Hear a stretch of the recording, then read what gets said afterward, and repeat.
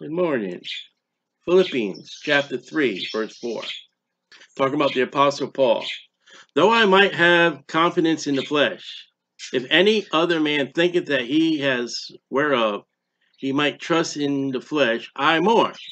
Circumcised the eighth day of the stock of Israel, of the tribe of Benjamin, a Hebrew of Hebrews, as touching the law of Pharisee, concerning zeal, persecuting the church, touching the righteousness which is in the law, blameless. Okay, so here is a man, Saul, who becomes Paul. He was Abraham.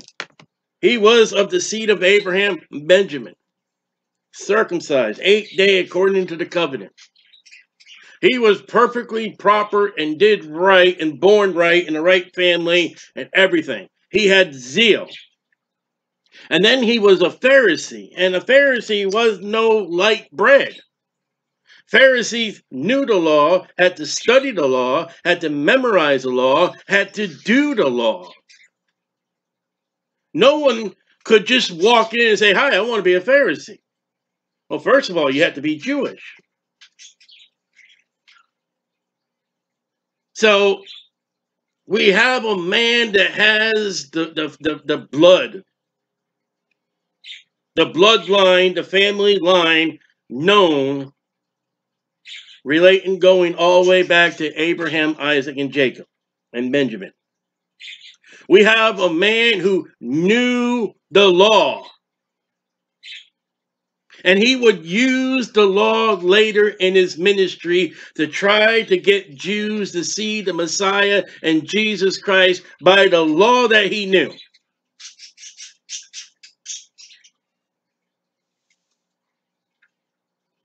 And we have a statement here in Acts chapter 9.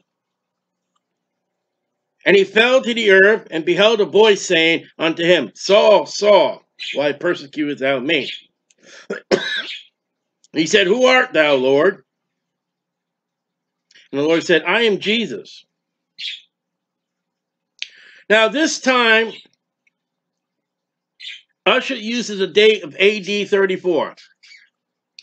Paul had to know Jesus Christ, living and breathing, walking and teaching, especially when Jesus taught in the in, in the temple, especially when, when Jesus, woe unto you Pharisees, scribes. I mean, that would have to be probably Paul's attendance. I believe the apostle Paul to be an apostle by the, the, the requisite of apostle you had to be baptized at John's baptism. I believe Paul was baptized by John the Baptist. You had to see Jesus living. Paul would had great opportunity to see Paul, uh, Jesus living and hear him. And then here Paul sees the resurrected Jesus. And he says, Who art thou, Lord? Now, I would assume that Paul has heard Jesus. And here, a man of the family of Abraham, Isaac, and Jacob, and Benjamin. Here is a Pharisee. Nicodemus, a Pharisee ruler of the people, the Sanhedrin, came to Jesus by night came to the death of Jesus Christ with ointments. And this Pharisee, Saul, who has extreme anger for people following this man named Jesus. And he says to a voice that speaks out of heaven, Who art thou, Lord? You don't know? That man that's in hell in the, in the Gospel of Luke, uh, uh chapter 15 or 16, he says, Father Abraham. The man was of the family of Abraham, God's people. If there's any only God's people, it's the people of Abraham, Isaac, and Jacob. And that man was in hell burning for eternity, is in hell now, and will be in hell tomorrow, and will be in a lake of fire for all eternity as a child of Abraham. It's not what blood and what family line you're born of. You can't be born of the royalty of the of the lines and kings and queens of England. And expecting that will get me to heaven, that don't work. Here's a man that was of the tribe of Abraham, Isaac, and Jacob, and Benjamin, the seed of the people loved and chosen by God. He doesn't even know who Jesus is. And he walked and talked and saw Jesus in Jesus' ministries. I guarantee it.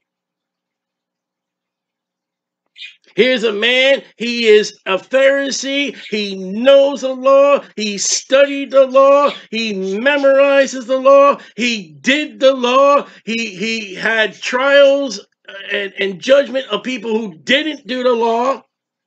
He's killing Christians because they're not called Christians yet. He's killing people of Jesus Christ because the law said if they're false prophet and teaches another God besides Jehovah, you're to kill him. He's doing the law.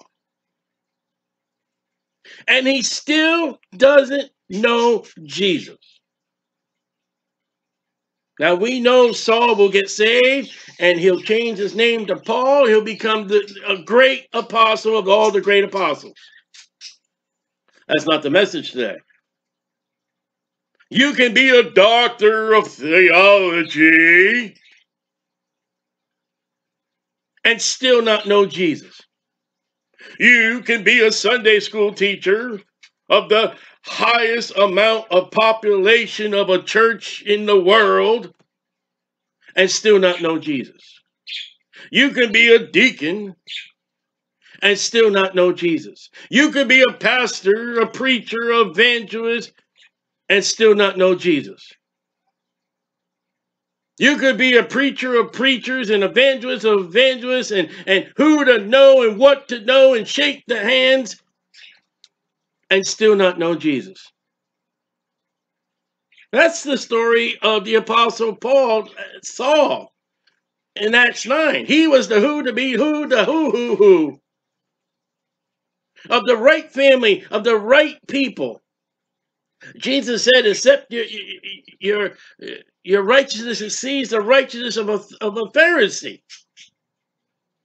And still may not know Jesus. There are people, some with the title as Christian, they're, they they were living, living today and tomorrow, as long as, as the Lord tarry. Uh, you know, uh, they got letters and titles to their names.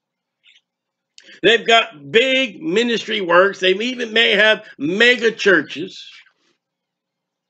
They may have CDs and posters and get asked to go here and there and, and sign books and and the top 10 book lists of the Christian charts and maybe the top, you know, seller of CDs of the Christian music. And they may have the fame. They may have the celebrations. They may have the, the but they may not know Jesus.